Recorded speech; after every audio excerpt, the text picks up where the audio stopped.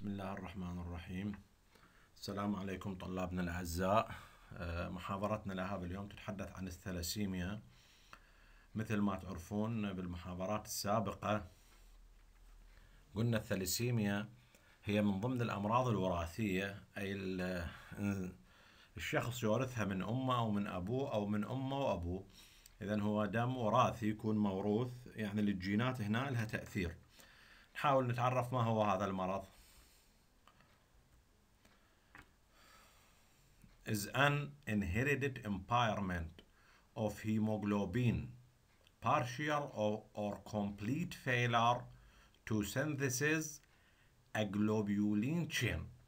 إذا هو عبارة عن نقص أو خلل موروث يصيب الهيموغلوبين مثل ما قلنا الشخص يورثه من أمه أو من أبوه أو من أبوه امه هسه مثل ما راح نلاحظ بعد قليل هذا النقص أو الخلل اللي يصيب الهيموغلوبين يكون يا أما جزئي أو يكون آه، كلي. آه، فراح تنتج آه، جزيئة هيموغلوبين غير طبيعية. طبعا مثل ما تعرفون الهيموغلوبين طلابنا الأعزاء قلنا هو يتكون من بروتين اللي هو بروتين الجلوبيولين مرتبط مع الهيم. الهيم قلنا من من يتكون من ال protoporphyrin ويتكون من ال iron الحديد. آه، طبعا قلنا هذا الأمراض بالذات الخلل وين يصير؟ بالجلوبيولين لأنه عبارة عن بروتين لأنه من المسؤول عن تكوين البروتين؟ هي الجينات. اذا الخلل الوراثي هنا وين يشمل لي الخلل؟ وين يصير؟ يصير في سلسلة الجلوبيولين. ومثل ما عرفنا سلسلة الجلوبيولين بالنسبة للهيموغلوبين تتكون من أربع جزيئات. جزيئتين ألفا وجزيئتين بيتا هاي بالنسبة للاتش بي اي اللي هو موجود بالبالغين. هسه classification بعد أن تعرفنا على الثلاسيميا تعرفنا آه، شلون هي مرض وراثي وليش بالجلوبيولين قلنا لأن هو مرض ناتج عن خلل بالجينات وبالتالي يأثر بما أنه الجينات تؤدي إلى صناعة أو تكوين بروتينات. بهالحالة راح يصير الخلل جيني اذا classification تصنيفها. اولا ثلاسيميا ألفا. أي؟ ثلاسيميا ألفا.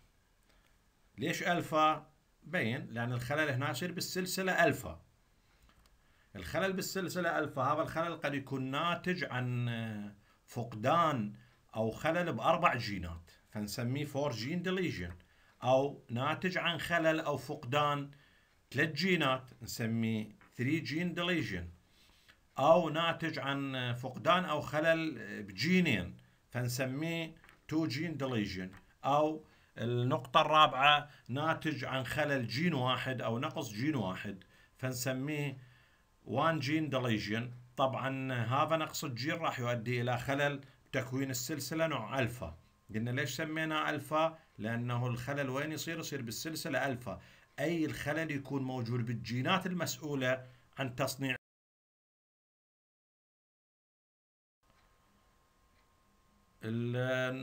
النوع الثاني من الثلاسيميا هي بيتا ثلاسيميا. بيتا ثلاسيميا. طبعا ليش سميناها بيتا. قلنا لأنه الخلل آه، ناتج عن الجينات المسؤولة عن تصنيع سلسلة بيتا الموجودة بالجلوبيولين. وهذا يشمل لي نوعين رئيسيين آه، بيتا ثلاسيميا ألفا أي بيتا ثلاسيميا major العفو. بيتا ثلاسيميا major اللي هي ال homozygous homozygous يعني هنا الطفل ماخذ الوراثة من أمه ومن أبوه. يعني خلل الأم عندها خلل آه، وراثي والأب حامل أيضا لهذا المرض.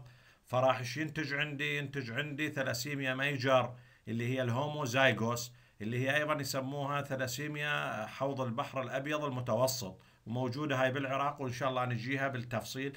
وطبعا هي تعتبر أخطر أنواع الثلاسيميا.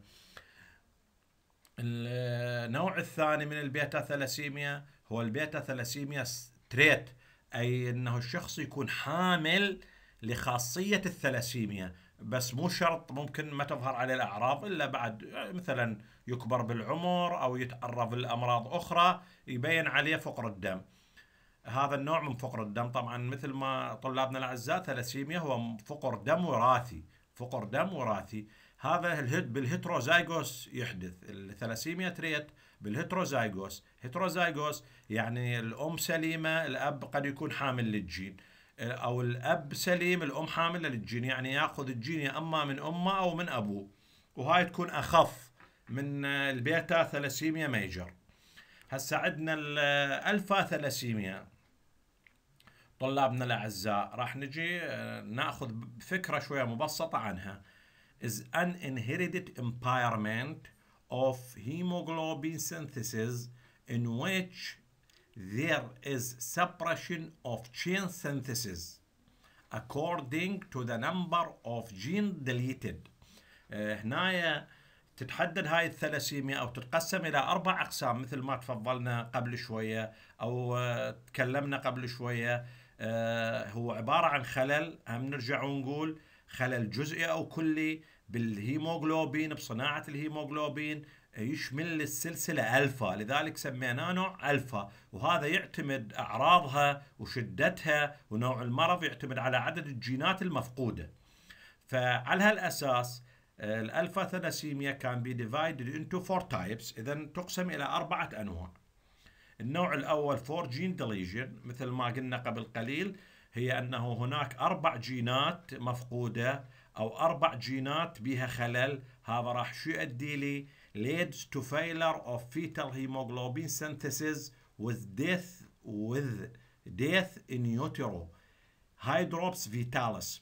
هنايا إذا كان بوجود الخلل أربع جينات الخلل بأربع جينات فما راح يتم تصنيع سلسلة ألفا. بهالحالة راح الطفل يموت بداخل الرحم اللي نطلق عليه التسمية hydrops fetalis. hydrops fetalis. وهو الطفل أصلا ما ينولد يعني بداخل الرحم يكون ميت. أيضا تعتبر ثلاسيميا خطرة ليش ما نعتبر خطورتها؟ مثلا مثل خطورة البيتا ثلاسيميا لأن دي شنو ولد الإنسان ويعيش بها معاناة؟ هذا الطفل يموت بداخل الرحم. ثانيا إذا كان هناك ثلاث فقد فقدان إذا كان هناك فقدان لثلاث جينات أو خلل بثلاث جينات. 3 gene deletion leads to moderately uh, severe Hb يعني نقص بالاتش بي نقص شديد بالاتش بي اللي يكون دائما نلاحظ هذول ينولدون أيضا وممكن أن ينمون ويكبرون بس الاتش بي دائما نلاحظه يقرأ عندهم من 7 إلى 8 جرام بالديسيليتر. الفيلم الدموي مالهم عندما نجي نفحص هؤلاء اللي عندهم نقص ثلاث جينات راح نلاحظه microcytic hypochromic طبعا إحنا قلنا قلنا microcytic يعني خلايا صغيرة بنفس الوقت الهيموغلوبين بها قليل أهم صفة بها إذا الهيموغلوبين قليل راح تصير hypochromic اذا هي ما دام microcytic يعني hypochromic anemia اذا فقر دم يتميز الوصف مال فقر الدم اللي عندهم نقص بثلاث جينات نسميه microcytic hypochromic anemia وال splenomegaly أيضا يصير تضخم بالطحال. طبعا تضخم الطحال بالثلاسيميا يكون ملازم للأنواع لأنه كريات الدم الحمراء تموت قبل وقتها. وأيضا مثل ما قلنا بالمحاضرات السابقة ال reticulocyte وين تنضج؟ تنضج بالطحال حتى تتحول إلى خلايا آه، ناضجة تؤدي عملها بشكل صحيح. فراح الطحال يتعرض إلى hyperactive وأيضا ما يتحمل الكمية مال كريات الدم الحمراء اللي تموت به فراح يصير به تضخم يصير splenomegaly طبعا نوع الهيموغلوبين هذول اللي عندهم نقص بالثلاث جينات نسميه هيموغلوبين H أو hemoglobin H disease أيضا تسمية ثانية له وهذا ال H hemoglobin إحنا أخذناه بالمحاضرات السابقة. in which hemoglobin H لا تلاحظون هاي النقطة المهمة يعني وجود أربع سلاسل بيتا. يعني هنا الجلوبيولين البروتين اللي يكون لي الهيموغلوبين اللي هو من نوع الجلوبيولين أو الجلوبين يكون أربع سلاسل بيتا يعني لا وجود للسلاسل الألفا بهالحالة راح يكون غير قادر على أداء عمله بشكل صحيح. can be detected can be uh, detected in red cells by or by special staining. هذا ممكن نشخصه للمرض شلون؟ موجود عنده اتش بي هيموغلوبين من نوع H لاحظة آه، نقدر نشخصه عن طريق الترحيل الكهربائي لل electrophoresis أو بواسطة صبغات خاصة. هسه ثلاسيميا الفا trait أو ثلاسيميا trait نوع ألفا. دائما من تجي لنا هنا trait بالأمراض الوراثية أو فقر الدم الوراثي يعني معناها هنا هو راح يكون heterozygous heterozygous أي أنه ما أخذ الوراثة أو جت الوراثة لهذا المرض لو من أمه لو من ابيه يعني أكو خلل جيني عند أبوه أو عند أمه فورثة. شنو ميزة هاي؟ الثلاسيميا trait ثلاسيميا الفا trait traits are often not associated with anemia. يعني اللي عندهم حاملين نوع ثلاسيميا الفا trait أو عندهم خاصية هذا المرض ما يكون عندهم فقر دم. بالأوضاع الطبيعية طبعا إذا يتعرضون لأمراض أخرى أو يكبر بالعمر مثلا العمر ماله يصير كبير ممكن أن يبين عنده فقر دم ويشخص. آه، صحيح إحنا ما نشخص بس لكن عندما يسوى فحص ام سي في وام سي اتش وام سي اتش سي نلاحظ كلها تكون منخفضة. كريات الدم الحمراء تعدادها يكون أكثر من 5 ملايين ونص. اذا من تعداد كريات الدم الحمراء تقريبا ما راح نشخص بس لكن عندما نسوي ال MCV وال MCH وال MCH ممكن أن نشخصها. ال electrophoresis مالتهم normal يعني اللي عندهم هذا المرض اللي هو ثلاسيميا trait ألفا لاحظ انه أو الفا ثلاسيميا trait آه، لاحظ أنه من نسوي ترحيل كهربائي للهيموغلوبين آه، راح نلاحظ أنه تكون normal يعني موجود عندنا الاتش بي اي الاتش بي اي 2 الاتش b F بس أهم شيء إحنا ممكن شيء يفيدنا هو نسبة ال ratio هي اللي الفا على بيتا. بما نعرف هي سلسلتين ألفا. على سلسلتين بيتا فتصير واحد على واحد اذا هي النسبة ثابتة. النسبة ثابتة بالنسبة للهيموغلوبين الطبيعي. من نسوي النسبة راح يطلع لنا واحد على واحد. تشير ريشيو studies are needed to certain of the diagnosis ممكن أن نشخصها ليش؟ لأن هو ذاك خلل قليل بألفا راح تطلع أقل من واحد. يعني ما راح يصير واحد على واحد. the uh, normal النسبة الطبيعية الألفا على بيتا هنا أي يعني أقصد بها ألفا the normal A على B على بيتا النسبة ratio هي واحد إلى واحد. And it's reduced in thalassemia. بهذا النوع من الثلاسيميا شو يصير بيها؟ تقل. لأن يصير أقل من واحد على واحد. هسه ثلاسيميا major بيتا ثلاسيميا major اللي قلنا عليها فقر دم البحر الأبيض المتوسط اللي قلنا عليها نشوفهم هذولا. يعني يا أما من أقربائنا يا أما من الناس المحيطين بنا أو الجيران أو الطلبة أو مكان العمل اللي نعمل به نلاحظهم طبعا. آه، اللي هي مهمة جدا وموجودة عندنا بالعراق لأن هي تنتشر آه، بحوض البحر الأبيض المتوسط. هنا راح تكون homozygous يعني الجينات مال البيتا ثلاسيميا major آه، homozygous يعني الوراثة جاية من الأم ومن الأب. تلاحظون طلابنا الأعزاء as Mediterranean or Cooley's anemia Cooley's anemia يعني هي فقر دم البحر الأبيض المتوسط It is an inherited defect of Hb synthesis in which either no beta chain تلاحظون يعني يا اما هي تكون موروثه بحيث ماكو سلسله بيتا كلهن يكونن من نوع الفا شوف beta zero أنا كاتبها or small are synthesized أو يتم تصنيع جزء قليل من سلسلة البيتا. اذا هنا الخلل وين صار عندي بالبيتا؟ اذا من أقول لك ثلاسيميا major hetero لو homo راح تقول homozygous زين ثلاسيميا major شنو تسميتها العامة؟ تقول لي هي Mediterranean فقر دم البحر الأبيض المتوسط. excess chain precipitate excess alpha chain طلاب العفو. هنا هاي مو أقصد بها ألفا. alpha chain precipitate in erythroblast cells يعني هاي السلاسل اللي بقت اللي هي من نوع الفا راح يصير بيها ترسيب بداخل كريات الدم الحمراء. أو تترسب بداخل كريات الدم الحمراء من وقت ال erythroblast يعني من بعدها في نخاع العظم. اذا هي من راح تطلع من نخاع العظم تكون غير قادرة على أداء مهامها.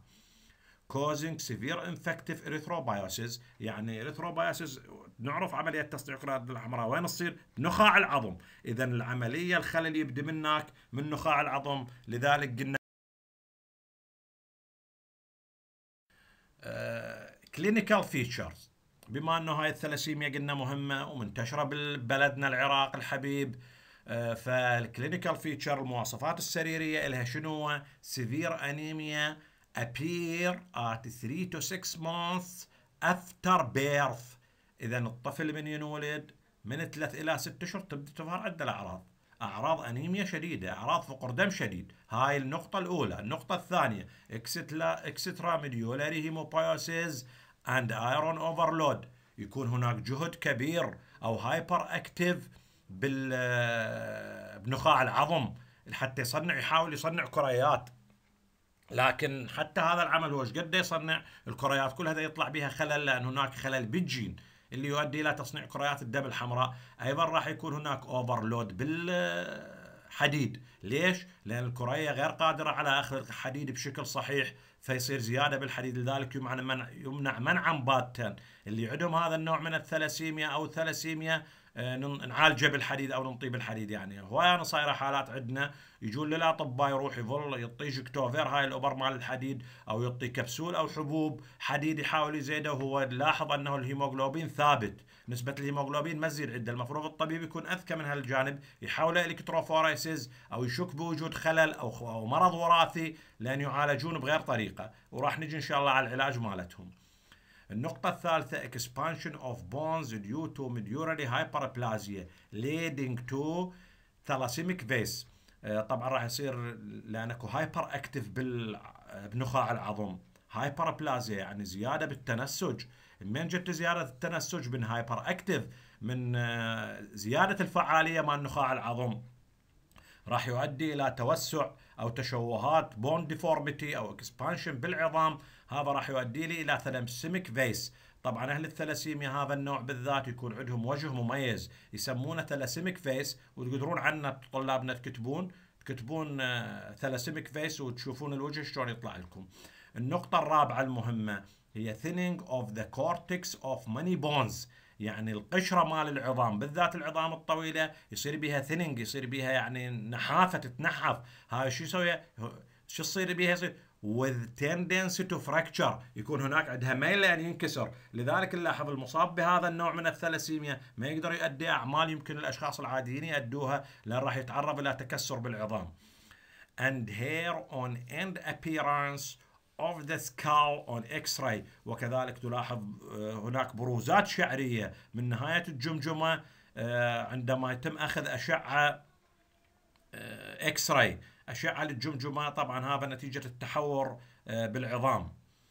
النقطة الخامسة المهمة لا تلاحظون إيش قد مهمة أو إيش قد معاناة الله يساعد اللي مصاب بهذا المرض. النقطة الخامسة failure of growth فشل النمو بشكل عام or delayed or absent puberty. يعني يصير عندهم فشل بالنمو ما يصير عندهم نمو بلوغ نهائيا. أو قد يتأخر البلوغ مالهم بشكل يعني هواي يتأخر البلوغ. ما يبلغ مثل مثل حالة حال أقرانه بسبب تأثير هذا المرض على الهرمونات النمو وعلى الغده النخامية و... وأيضا تأثيرات واسعة تكون وكبيرة. آه، أيضا يكون عندهم diabetes mellitus diagnosis بعد أن تعرفنا على ال clinical feature مالتها شلون نشخص هذا النوع من فقر الدم. اولا آه، من راح نلاحظ آه، راح يكون severe hypochromic microcytic anemia طبعا هاي تسميته. يعني لاحظ آه، الخلايا من النوع الصغير هيموغلوبين بها قليل وبالتالي الصبغة تكون قليلة. يعني نوع الأنيميا نسميها severe hypochromic microcytic anemia فيلم الدم من نفحصه نلاحظ أول شيء الخلايا من نوع microcytic ونلاحظ انه الخلايا أو الفيلم يكون hypochromic. hypochromic يعني انخفاض الصبغة. الفيلم يكون فاتح. الريتيكولوسايت كاونت والنورموبلاست والتارجت سيل والبيزوفيليك ستيبينج. إن ذا بلاد فيلم. هذن الخلايا كلهن نلاحظهن طبعا هو شكل طبيعي نشوف ال retics لأن قلنا أول خلية تنزل للدم المحيطي. من نخاع العظم هي ال reticulocyte. آه لكن ال normoblast ما تنزل بس بهاي آه، هنا في هذا المرض راح تنزل. أو في هذا النوع من فقر الدم راح تنزل ال normoblast. ليش تنزل؟ لأنه قلنا شدة أو hyperactive أكو آه بنخاع العظم.